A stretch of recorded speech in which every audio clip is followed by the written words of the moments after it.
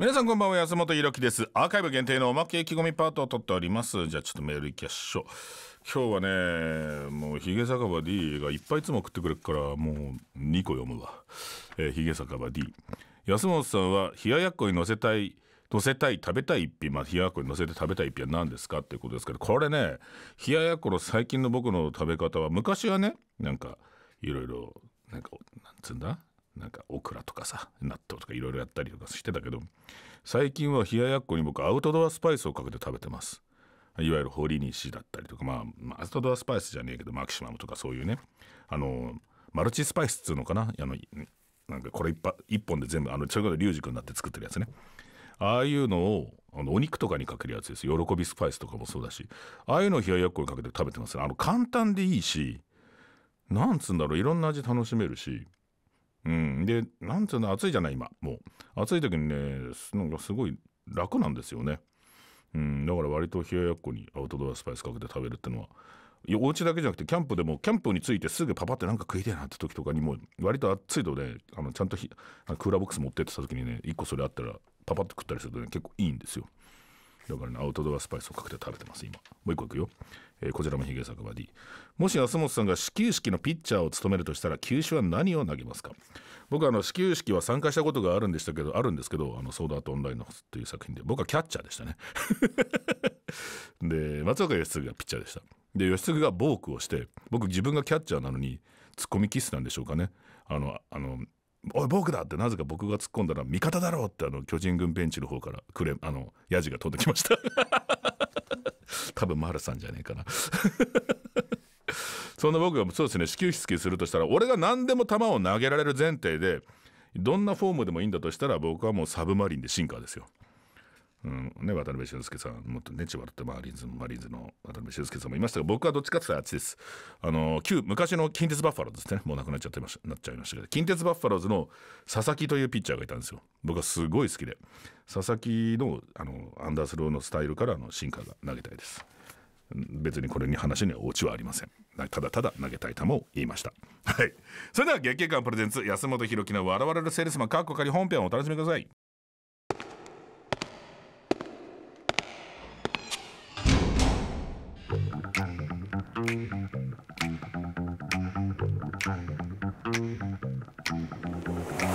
月経館プレゼンツ。安本博樹の笑われるセールスマン。かっこかり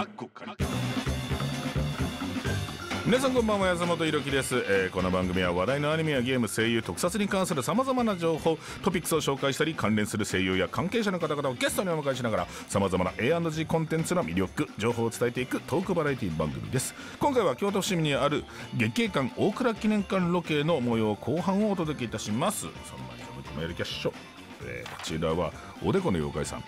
安本さんこんばんは。先日料理研究家リュウジさんの冷凍唐揚げ動画を視聴しました。あはいはいはいはい。安本さんおすすめの唐揚げとともに特別顧問と、えー、称賛されていて思わず笑ってしまいました。そうですね。えー、私も胸辛を買って食べてみましたが、えー、鶏胸肉でカロリーの罪悪感が少ないのにしっかり美味しくて思わず追加でレンチンして食べてしまいました。これボディービルダーの人もね食べれるぐらいらしいですよこれ。あの米粉を使ってるから糖質もすごい低いんですよ。えー、私が勤めているスーパーでも動画が公開されて以降胸からがよくレジを通るなと思い 確認してみたところ、えー、前週比較でほぼ倍の販売数に増えていて驚きました。リュウジさん効果の凄さを仕事でも体感するとは思いませんでした、まあ、全部が全部そうじゃないとは思うけど、まあ、リュウジ君の動画を主婦の方々もね皆さんご覧になってると思いますし、まあ、主婦だけじゃねえか俺たち一人なんか一人でああいうのが好きなおじさんたちも見てるか。うんもしかしたら効果あったかもしれないですね。普段推し活と勇んで経済を回しているつもりでいたら経済を回されている側になっておりました。この場を借りて安本さんと龍さんにお礼をしてください。ありがとうございます。そうそうそうあのリュウジ君ってあの料理研究家いるじゃないですか。いるんですよ。ご存じない方もいらっしゃるかもしれませんが。その子とですね割と仲良くさせていただいてこの唐揚げの動画を撮った後に安本さん飲もうよって言われて飲み行ったんですよ。その時に唐揚げこれとこれこれやったんだっていう時にそのラインナップを聞いて俺がちょっと待てと。お前日霊さんの徳からと胸からなくね。特に胸からめっちゃ面白いよ。めっちゃうまいよ。俺冷凍冷凍庫に俺切らさないよって言ったらそれ入ってね入れますっつって入れてくれたのがあれだったんですね。うん。他にもねいろいろあるんだけど、まあ、でもそうそうリュウジ君とですね一緒に作ったあのおたまよおたあのマヨネーズのマヨネーズ風のやつですね。おたお宅のマヨがですね、えー完売いたしまして本当ありがとうございます。でも多分すげえ頑張ってるんでいろんなところの人たちが。もう一回出せんじゃねえかなどうなんだろうな。格安がまだできねえんだけどちょっとこのままだとねあの買えなかった方もいっぱいいらっしゃるからちょっと申し訳ねえなって気持ちが強くてちょっとどっかで誰かが頑張ると思いますんでそそういう時が来たらまた言うと思います。よろしくお願いいたします。さあさあさあさあさあ本日はですね月経館大倉記念館のロケの模様の後半戦でございますんで楽しみに聞いてください。では最後までお付き合いお願いします。この番組は虹スタ月経館の提供でお送りします。月経館プレゼンツ安本博樹の笑われるセールスマンかっこ仮。ではこちら利き酒のコーナーになります。えー、大丈夫ですか？そんな。大丈夫ですよ。大人気だ。いああ今すごい混んでますね、やいやいやありがたいですよ、はいどうぞ。外国の方もやっぱり多いですね。そうですねはい。特に平日はかなり海外の方が。でもいいですね。みんなお穏やかに飲んでらっしゃるし。そしてスタッフにも外国の方がいらっしゃるそうなんですはい。あ今はでもそうか。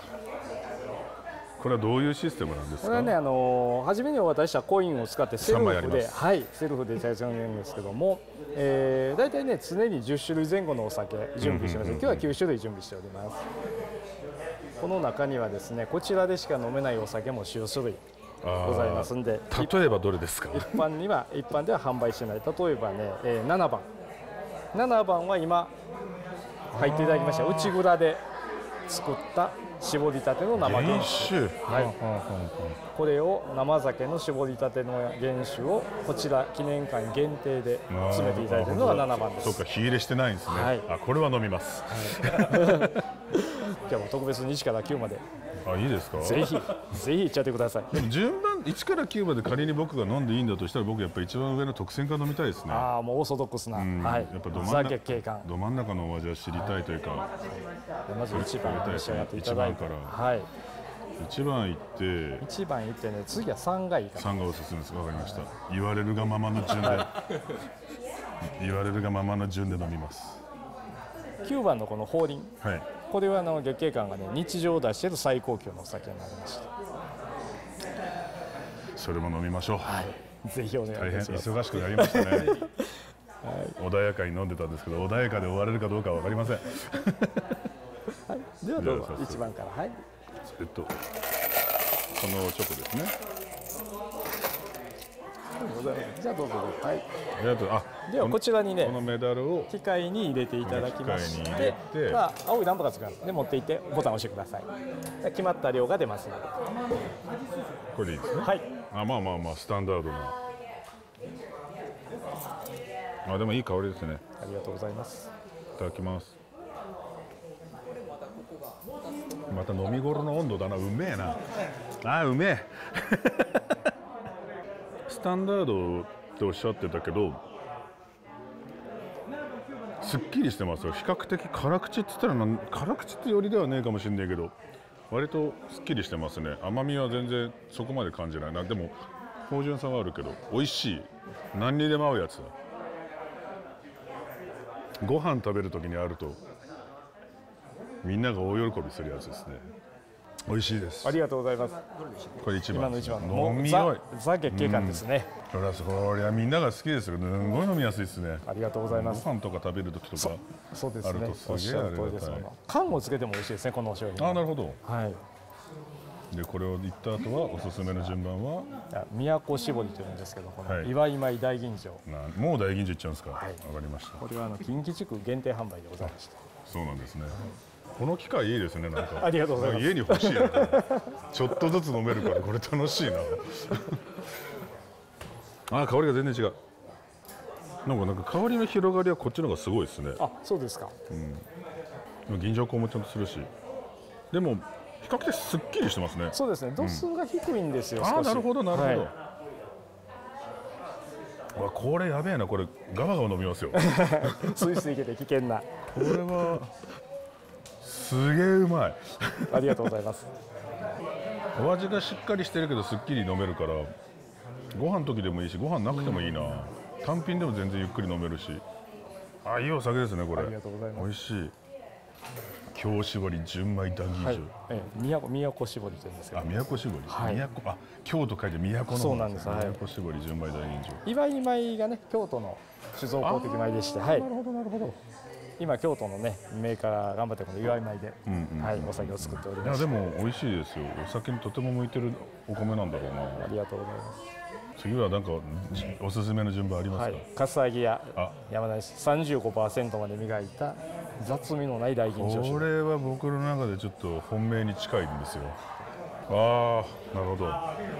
でもすげえすげえ品がいいですね香りはいいですか、ん。ここでですね。なんか結構しっかり磨いてるから凶暴な感じかと思ったらすごい品がいい。いただきます。おお広がりがえぐい。大吟醸ですね。ありがとうございます。ほとんど雑味がないんじゃないかと、すっきり飲めるでような。も口の中にブワーって一気に吟醸香というか吟醸してるやつ独特のやつが暴れ回るけどすっげえ品がいい上品だなこれ。上品だけどしっかりしてるからある意味危険かもしれない。あの度数が16から17ございますので結構高めちょちょっと強いですね、はい、でもこれうまいな。ありがとうござこれ美味しいですね。ありがとうございます。えー、あこれ限定品なんで俺買って帰ろう。これうまいわ。本来だったらここで終わりなんだけど俺終わらなくていいんでしょ。いいです。ボーナスステージ長えぞこっからがでは次は法輪。ああ、はい。現状の月経館のはい。フラッグシップモデルというか、はい。あうまい。まあ存在感がすごいですね。ありがとうございます。うん。昨年の秋にね大きく法輪ブランドをリニューアルしまして、あもうお酒っていう感じがしてるしあの一口入れて口の中で飲んでる時の存在感すごいけど飲み切った後はさっとすっきりするずっと言ってるけどあ危険ですねこれも。これも俺すげえ飲むぞ。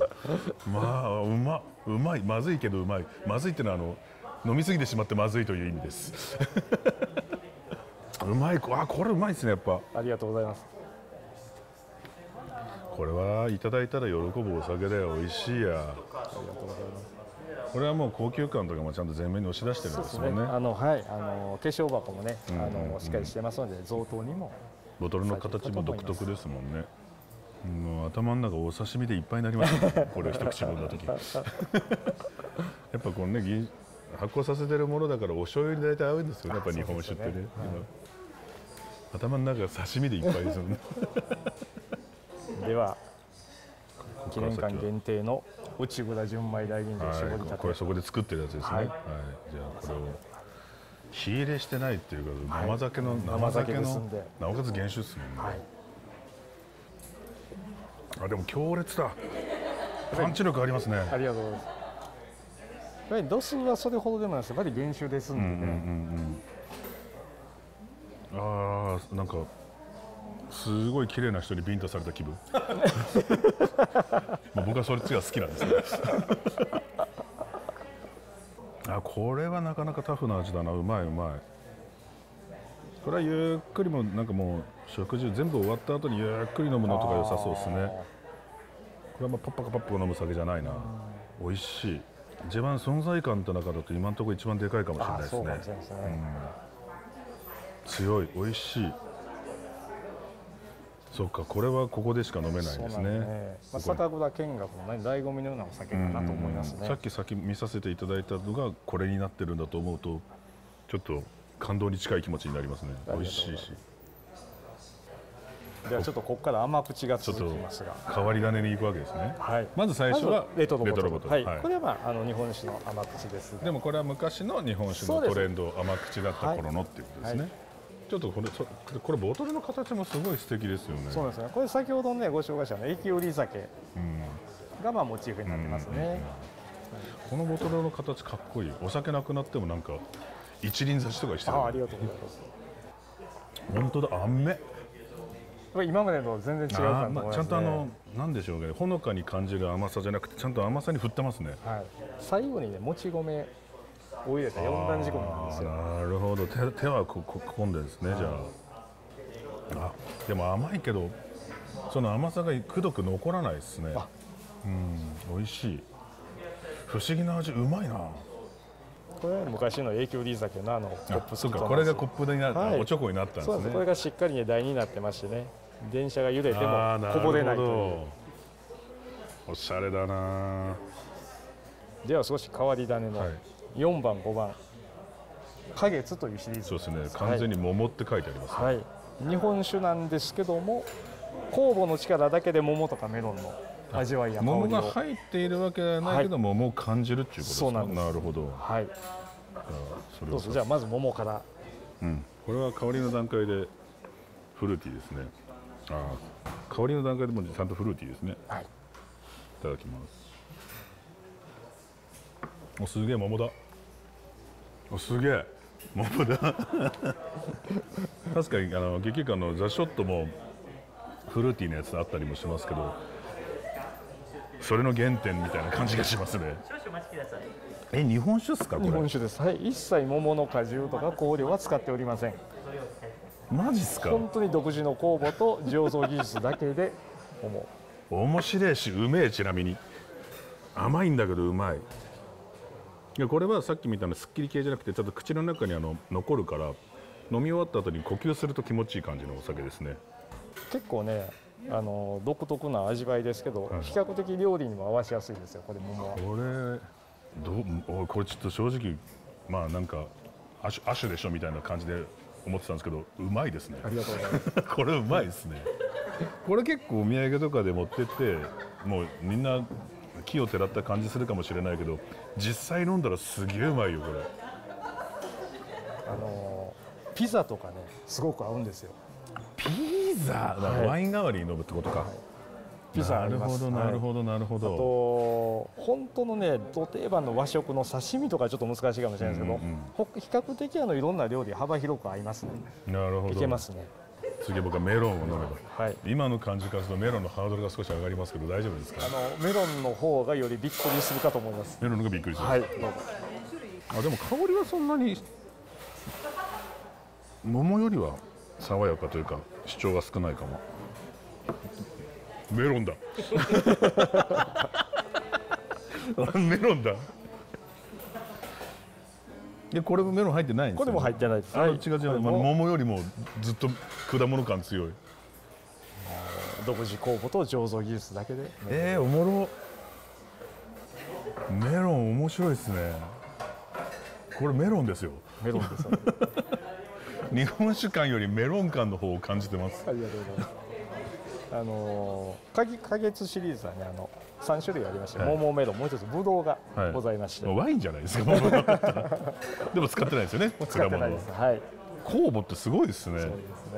これ知らない人の方が多いのがもったいない気がする。そうですよね。うんま知ったらすげえ面白いしうまい。ちゃんとうまい。あとびっくりするぐらいメロン。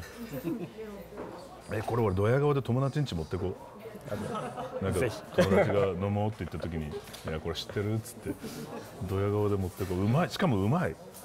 ちょっと変わりないんですけどね。日本酒のなんか可能性と新しいん。飲み方をどんどんこう広げていきそれこそ研究所があるところだから作れてるやつでしょうねまこれは。まさにその通りでございます。面白いですね。桃もメロンも面白かったです。これなんか変わり種だと思思うなよっつってお中元のところに俺あげてえな友達に、うんいいですね。そして次はで最後。はい。これプラムワイン日本酒ではないんですけども、梅をあの発酵させたワインのような作りの。いわゆる梅梅酒っていうのは漬け込むむ。わけですよね、お酒に、はい。ではなくもう発酵させちゃった。そうなんです。少し糖分を足して発酵させて梅酒だけど梅酒じゃないみたいなはい。濃厚な梅酒に近いんですけどもこちらほぼ輸出しかしない商品でして。あ日本だとあんまりみんあんま出てない、はい。えー香りもほぼ梅酒ですねうわ強烈だなすげえ。なんなんちゃいいんでしょうね。普通の梅酒の梅が2万倍ぐらい入ってる感じの 梅テイストを感じる。ありがとうございます。度数がね13度とそんな高くないんですけども、結構ガツンとくる。多分ガツンとくのお酒アルコール度数よりもその梅の風味ですよね、ね。これ発酵してるからなのかな。何なんだろう。すっげえ梅の感じがするちなみに美味しい。夏はね炭酸ソーダ割りとかでも美味しいとね、普思います、通のまあ俗に言う梅酒と同じ扱いでいろんな飲み方してもいいかもしれないけど、普通の梅酒よりもなんだろうなおかしいな梅の存在感絶対こっちの方がある。うまい。あとバニラアイスにかけていただいても美味しいです。よバニラアイスにかけるとかそんなおしゃれなことはすそこら辺のカフェで今すぐ始めた方がいいですよ おばあちゃん本当ごめんと思うけどおばあちゃんの飯より全然うまいです。いやおばあちゃんのも美味しかったんですよ。美味しかったけどおばあちゃんのこんなに濃くなかったです。もっと疲れが甘い段階で俺たちが飲んじゃったっていうのもあるんですけど。いやこれは美味しいですね。全部違ったな。いやこれね3杯だけだけどお金払ったらいろいろ増やせるんですよね。そうなんです。はいあのーコイン1枚でねあ100円でコイン1枚販売できますので、これはねあのお酒飲める方は3杯なんてもったいないですよ。で多分みんなあの俺もそうだけど多分みんな大吟醸とここ限定に行っちゃうと思うんですよ。主に。いや違いますよ。これ桃メロンも一回行った方がいいですみんな。おもろいっす。あ全部面白かったですね。全部違いましたねそして。うん。どれ一番好きかな。特選やっぱ当たり前に美味しかったんだよな。あとやっぱねフラッグシップと言われたホーリンもやっぱ存在感という面だとダントツでしたね。あれ大変だ。全部うまいな。内臓純米大吟醸もうまかったのこれもこれもパンチ力あったんだよな。あのなんつうんでしょうね飲んだ瞬間ドンって殴られる感じはこれが一番強かったですね。あと桃メロンワインはただただ驚いた。でレトロボトルも甘いけどもすっきりしてる、うん、全部違う。あのやべ三つみたいになりますけどみんな近くてみんないいです。ぜひ皆さんこちらにいらした際はですねいろいろ飲んでいただければなと思います。美味しかった。さあというわけで今新コーナーでいろいろ飲ませていただいてまさかのコンプリートというね暴挙をざらせていただきましたが今お土産コーナーにその後来ました。今飲んだやつから考えるとお土産お酒買って帰りたくなっちゃうね。あザ・ショットも置いてありますよ。こちらもね個性がありますからね。俺も美味しいんですよね。僕全部ね毎週毎週飲ませていただいてるんですけど意外にねこの上船の甘爪が好きなんですよ。あありがとうございます。これがなんで安いのか分かんないぐらい。超うまいのにと思って。非常にすっきりしてますんでね、あとまあ黒の大吟醸もやっぱうまいですけどね。だから全部うまいんですけどね。ありがとうございます、で果実味あふれる味が結構あるじゃないですか。そうですね。それをさっき桃とメロンを飲んだ時にそうかこの研究生きてるのかって思いましたね。さああーこれか。はい。これでは中には中ですがブドウも。花月のブドウもうブドウも気になりますね マジで。くっそ。さあこちらのブランドショップで皆様へのお土産を私は買わなければいけないのですが。奈良漬けね。はいはいはいはい人によってね好き嫌いありますよね奈良漬けででも僕結構好きなんですよ。僕は奈良漬けだったらあのど真ん中のウリが好きです。なんかよりなんつうんですかねお酒感を感じるというか。どちらにありますね。今日最後最後というかその試飲のところで飲みましたけど法輪純米大吟醸。やっぱかっこいいっすねこれ。これはねもうボトルもかっこいいし味もありがとうございます。で味の存在感もさることながらボトルの存在感もかっこいいですよね。いやー他にあこれか。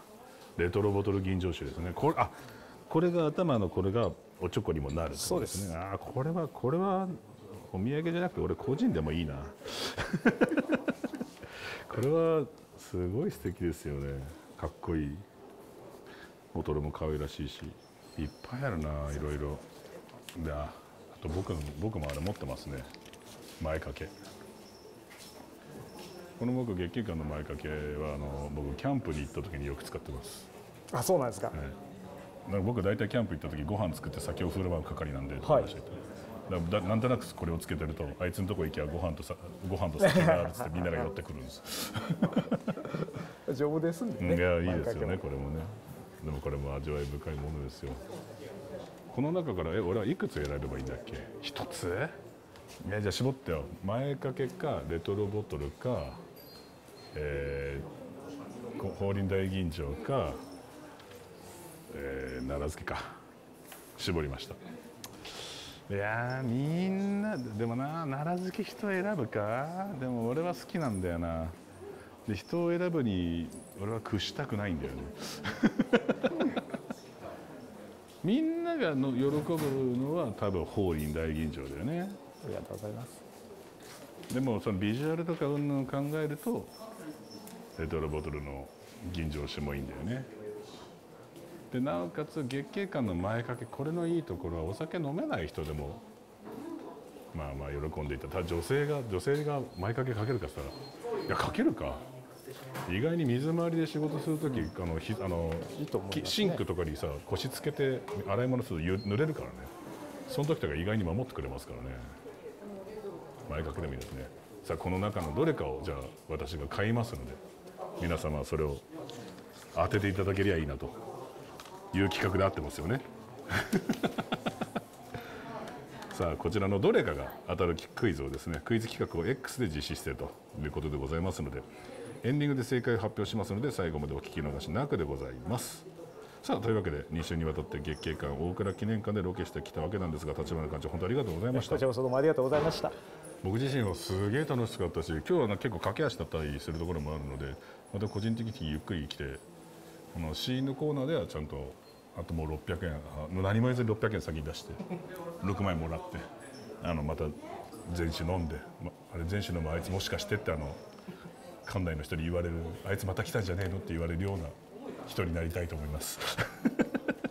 でも本当楽しかったしぜひね皆さんにもまあ、京都はね観光で来る方も多いと思いますけどその中の選択肢にぜひこちらの大倉記念館も入れていただければいいなと思いました僕自身はすごく楽しかったです。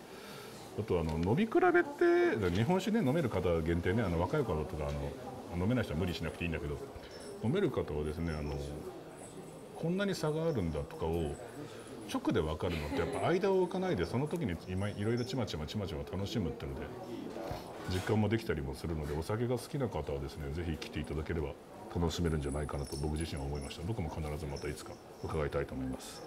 はいというわけでございましてこのロケで興味を持った方はぜひ訪れてみてほしいです。京都伏見にある、えー月経館大倉記念館からお届けしました。月経館さんこれからもよろしくお願いいたします。ありがとうございました。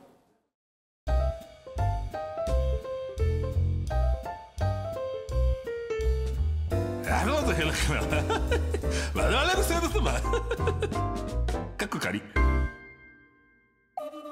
劇館プレゼンツ安本博樹の笑われるセールスマンかっこ仮エンディングのお時間です。この番組では皆様からのお便りをお待ちしております。おはがきの宛先は郵便番号105の8000に。文化放送劇館プレゼンツ安本博樹の笑われるセールスマンかっこ仮まで。メールの場合は ws.joqr.net までお願いします。そして番組公式 X も稼働中です。ぜひフォローしてください。感想をポストするときは推奨ハッシュタグ笑らせる。漢字の笑うにカタカナでセルをつけてください。また YouTube に実際チャンネルでのアーカイブ配信もございます。ディレクターズカット版としてたっぷりお届けしておりますのでチェックしてみてください。さあというわけでございまして今回はシーンの部分かな。特にディレクターズカット版はシーンの部分が長いんじゃないかな。あのー結構飲みましたね。でああんまりねそこでなんかもっと触れるべきだったんだけど果物の味がするやつが衝撃度はマジですごかったっす。あの果物一切使ってないのにもう研究の成果ですよね。酵母とかで本当に努力してこの味にたどり着いたんですけどびっくりしました。あれ結構お土産とかには持ってっても喜ばれるんじゃないか。みんな飲んだことないです。うん、メロンとですよね。あれは驚かれると思いますね。ぜひ皆さんもそこら辺とかもね楽しみに聞いていただければなと思います。そしてここで月経館大倉記念館ロケを記念したプレゼントキャンペーンのクイズの正解を発表します。正解は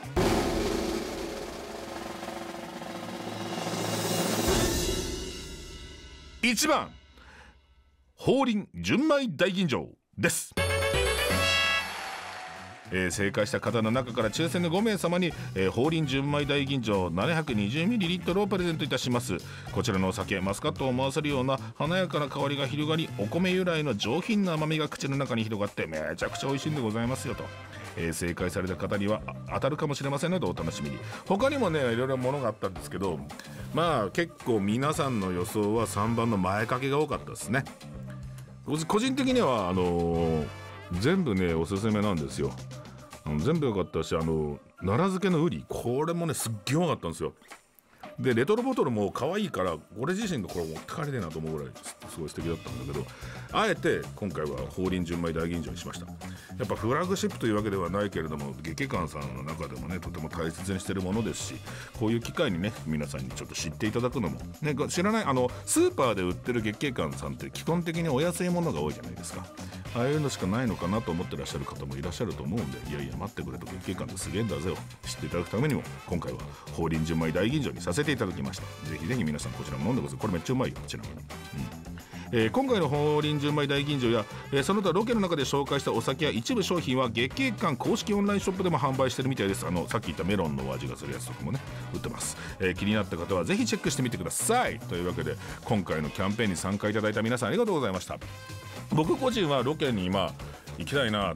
もっとなんか工場とかいろんなもんね月下月下さんあるだろうかいろんなとこ見れたらいいなと思ったんですけど今回この大倉記念館に行って連れて行ってもらいましてね中でつかも作ってる工程とかも見せていただいたりとかいろんなねなんか音声だからどこまで伝わるか分かんないんだけどすごい盛りだくさんの経験をさせていただいたんでとても楽しかったですまた機会があったら必ずお伺いしたいなと思っておりますのでぜひ皆さんもね大倉記念館行ける方行く機会が京都の方に行く機会がある方はですね選択肢に入れていただけるといいなと思います。よろしくお願いいたします。